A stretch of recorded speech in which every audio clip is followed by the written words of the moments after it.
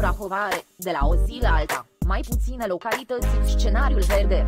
În afară de Vălenii de Munte, Plopeni și Slănic, toate orașele din județ, inclusiv municipiile Ploiești și Câmpina, sunt în scenariul roșu. Rata infectărilor de peste 3 la mie se înregistrează și în 22 de comune. Tot luni, la Ploiești, incidența a trecut de 5 la mie. Ca și Câmpina, municipiul de află, de mai multe zile, în scenariul roșu, alături de orașele Sinaia, Azuga, Bușten, Bălcoi, Breaza, Comarnic, Urlați, Boldești, Mizil.